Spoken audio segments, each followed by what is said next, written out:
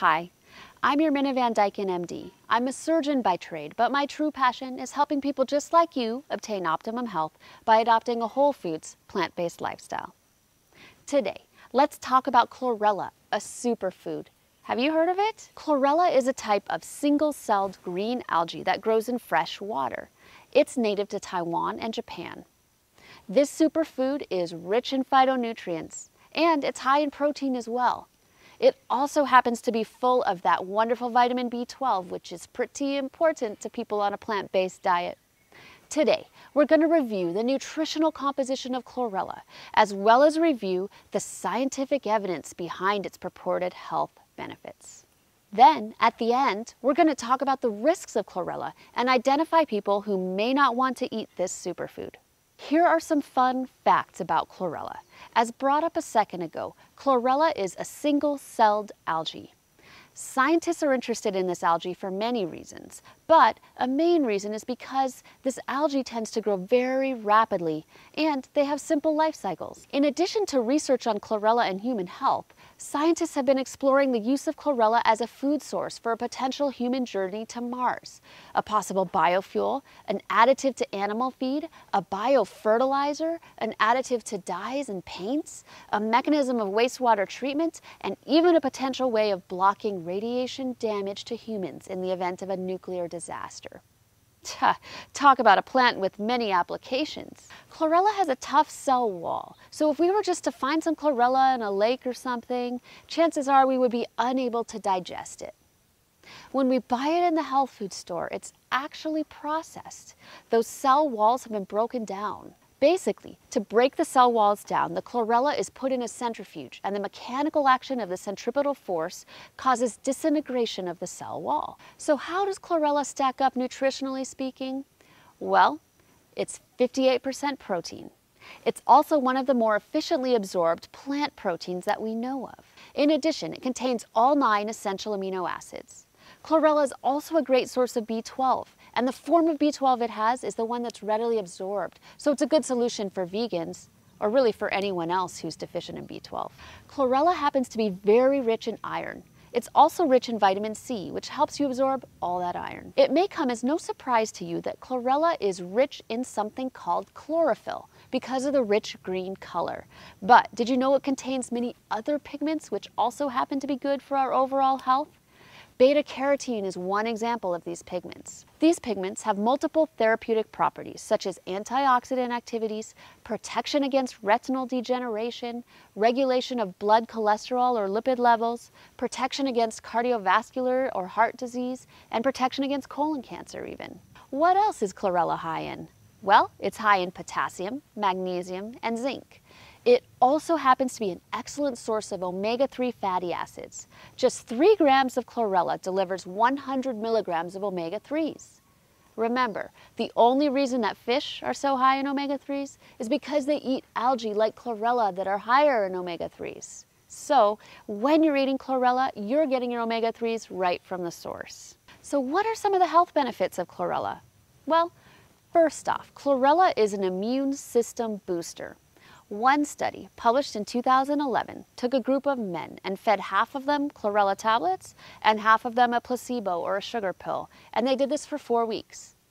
After four weeks of supplementation, they found that salivary immunoglobulin concentrations, so immunoglobulins are a measure of your immune system in your saliva.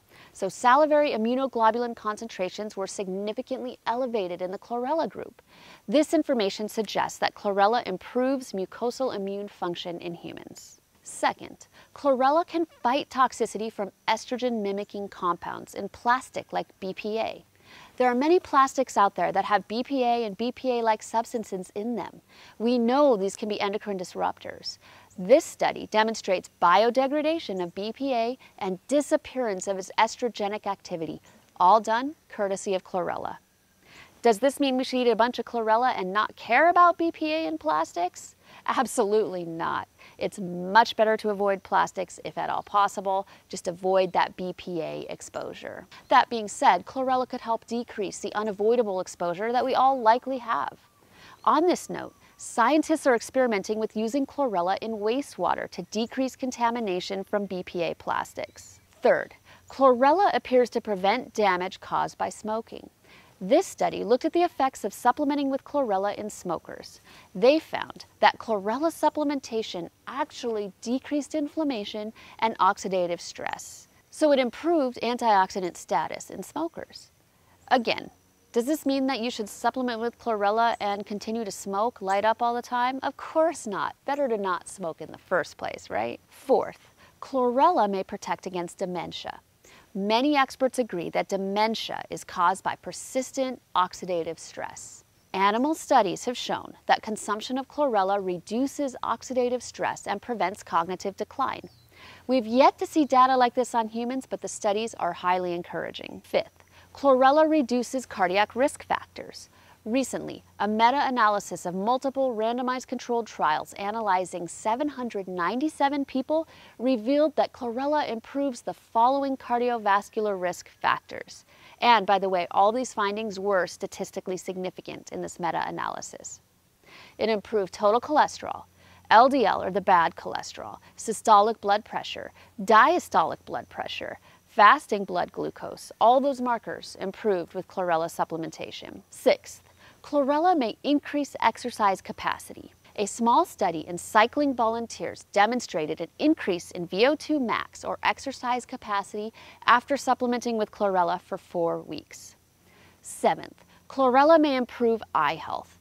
Chlorella contains lutein and zeaxanthin, two carotenoids that protect the eye and lower the risk of macular degeneration. By now, you might be thinking this chlorella is looking like pretty good stuff. But it may not be perfect for everybody, and there's some concerns that I have about recommending chlorella for all comers. Here they are. One, because chlorella is a processed food and technically a supplement, not all sources could be safe. There's concern about contamination during processing. Alternatively, what it says on the label may not be exactly what's in the jar.